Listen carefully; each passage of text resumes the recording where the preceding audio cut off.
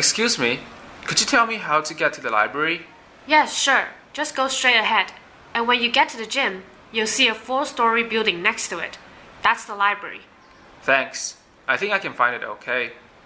By the way, is there a place around here where I can get a quick bite? Well, there's an American style fast food restaurant across the street from school. Is it any good? It's alright. I really prefer to have Chinese food. Well, there's a noodle shop right behind the fast food restaurant, which isn't bad. Okay, I think I'll go for the noodles. Thanks for your help. No problem. Take care. So long.